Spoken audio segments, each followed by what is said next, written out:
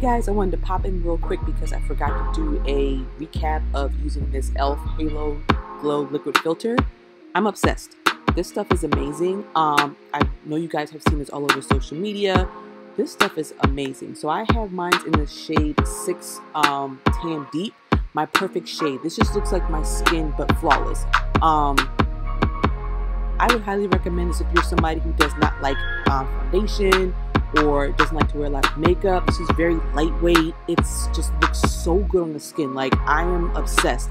I feel like this would be my new everyday complexion routine because really simple and easy to use. It just looks so flawless and just amazing. So, and it did wear, I went to work, um, this wore all day and just looks so good all day. So honestly, this thing you can um, use it by itself. You can mix it with foundation or, um, you know, apply to certain um, areas of your face. But I highly, highly, highly recommend this. This is so amazing. So just wanted to pop in and um, get that little tidbit real quick.